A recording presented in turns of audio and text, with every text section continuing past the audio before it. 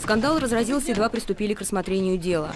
Микаэл Микаэлян и Артем Мукаэлян сразу же потребовали удалить журналистов из зала заседаний. Судья вышел в совещательную комнату. И Микаэлян, позируя перед телекамерами, занял его кресло. Вот фотографируйте меня вместо судей, я сижу, говорите, вот сюда.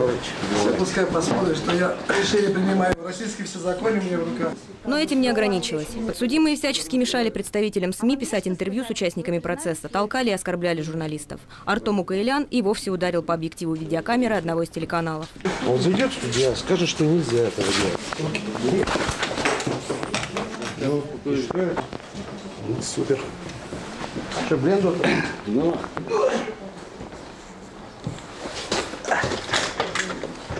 Суть дела в следующем. 18 марта текущего года ребята перед школой бросались друг в друга снежками.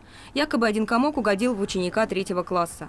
Мальчик пожаловался по телефону отцу. Тот вместе с родственником приехал к месту событий и отреагировал со всем пылом южного темперамента.